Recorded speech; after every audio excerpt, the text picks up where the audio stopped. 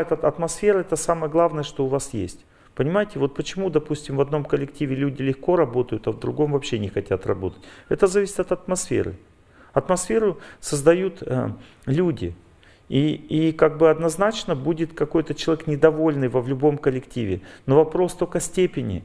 Если степень очень высока, и он постоянно бубнит, то э, и атмосфера такая, что у людей теряется энтузиазм работать, потому что он гасит этот энтузиазм, гасит. Вот представьте себе, допустим, идет лекция, да, вы внимательно слушаете, записываете, и какой-то человек сидит и постоянно портит атмосферу. Ну, не имеется в виду э, на уровне воздуха, а, ну, то есть он там насмехается надо мной там или что-то говорит. Вам приятно будет слушать лекцию? У вас будет хорошая усвояемость материала? Я буду нормально, расслабленно себя вести, спокойно? Нет. Вот это и означает. Вот прямо на этом семинаре, вот здесь вот на первом ряду сидел один мужчина, уважаемый, он был в духовных одеждах. И он не давал мне сказать ни одного слова. Мне пришлось этого уважаемого человека выгнать из зала. Ну, это было несколько лет назад. И я это сделал, потому что у меня не было другого выхода. Я пытался с ним как-то договариваться. Ну не то, что сразу я увидел, что о, он, он спорит со мной. Но он как на правах как бы Аксакала, старшего, пытался ну, как бы комментировать все, что я говорю не поднимая руку. Я говорю, ну может вы прочитаете лекцию? Он говорит, конечно. И я, я говорю, ну надо спросить у людей. Они говорят, нет, мы его слушать не хотим. На этом все закончили. Ну, примерно так. То есть, если человек э, мешает, он создает плохую атмосферу, то нужно просто ему подарить весь мир. И в этом нет ничего плохого. У вас же есть цель какая-то в жизни кроме благотворительности. Вы даже должны коллектив за собой вести. Как поощрять и наказывать подчиненных, чтобы их не испортить? Наказывать сотрудников всегда нужно только на основании закона, который вы создали в коллективе и который все одобрили.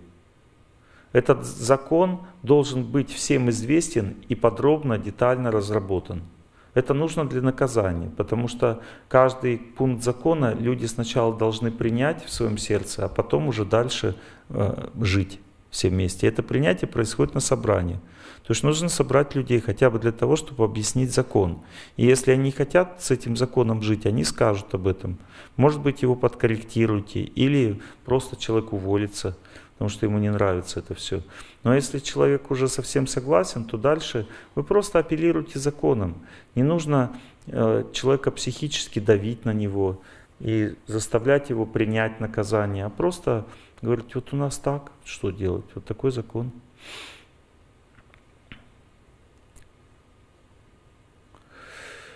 Второе. Наказывать человека надо не сразу во время происшествия, а когда вы уже простили его в уме. Иногда бывает так, что, вы, ну, что а, руководитель не успевает простить человека и наказывает сразу, в пылу как бы. Ну, так часто может быть, потому что мы не всегда себя контролируем. В этом случае нужно э, извиниться перед ним потом, когда ты придешь в себя, и объяснить ему, почему так. Сказать, что я не прав к тебе с точки зрения эмоций, но вот, к сожалению, я не могу тебя не наказывать. Это исправит ситуацию, но не полностью, потому что осадочек останется. Поэтому лучше всего, увидя ситуацию, всегда скрипеть зубами и отходить. Потом в молитве или какой-то должен быть у вас способ какой-то, когда вы принимаете человека, перевариваете. Когда вы его приняли, переварили, дальше объявлять наказание. Обычно так бывает, если вы приняли человека, думаете, ну ладно, я его принял, Зачем теперь наказывать? Пускай живет дальше. Вот это уже опять неправильно, это перегиб в другую сторону. Если ты пересилил себя, принял человека, наказывай обязательно, потому что есть разные виды наказания. Самый простой вид наказания, который люди вообще не пользуются, это дистанция. Вот, допустим, вы всегда обращали внимание на человека, и он это ценил, а надо на своих подчиненных обращать внимание. Даже люди в страсти нуждаются в этом. То есть есть три типа внимания. Есть близкое внимание, когда ты ну, ну, что-то сокровенное говоришь человеку. Есть э, доброжелательность, а есть, э, есть доброжелательность, а есть ты показываешь, что ты его не хочешь убивать. Ну, то есть, если ты как бы, ну, видишь человека и, ну, как бы, здороваешься с ним, проходишь мимо, он понимает, что, как бы, убивать никто не будет, значит, все нормально. Это невежественные люди. Если ты ему улыбаешься, здороваешься, он, думает, он сразу же э, начинает наглеть тут же. Невежественный человек. Он не, не терпит доброты вообще. Приведу пример. Я когда приехал в Индию, я увидел обезьяну. Обезьяны, у них невежественное сознание. Есть животные в страсти, благости, в невежестве. Я подошел к обезьяне и улыбнулся. Это была моя ошибка. Потому что обезьянам улыбаться нельзя. Когда я улыбнулся обезьяне, она не выдержала эту эмоцию и так и чуть на меня не бросилась. Но если бы я подошел к ней и не улыбался, все было бы нормально. Лучше на них вообще не обращать внимания, и тогда будет еще лучше. Так надо вести себя с невежественными людьми. Не обращаешь внимания, самый лучший вариант вообще. Улыбнулся, твои проблемы. Он тебе тоже улыбнется по-своему потом. Допустим, ты ему улыбнулся, он говорит, ну что, Василий Петрович, улыбаешься, а?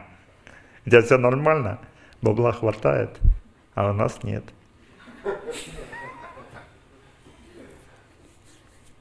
Понимаете, то есть лучше бы не улыбался. И сразу атмосфера создается определенная, что вот несправедливость у нас на предприятии. Люди в страсти нуждаются в добром, добром взгляде. С ними не надо об абсолютной истине говорить. Им нужен просто добрый взгляд. Здравствуй, Василий Петрович, я рад тебя видеть. Чуть-чуть приобнять человека, добрый взгляд. Никаких личных бесед. Просто поздоровался, пошел дальше. Дальше деловые отношения. Люди в благости нуждаются в твоей искренности. Что он должен видеть, что ты, что ты ценишь его верность. Нужно какие-то слова серьезные. Как у тебя дела? Как семья? Как твои цели в жизни? Две минуты. Достаточно на много-много дней этому человеку. Итак, наказание не сразу. Это очень-очень важно. Человек провинился, нужно срочно наказывать. Успокойте себя. Успокойте себя, это очень важно.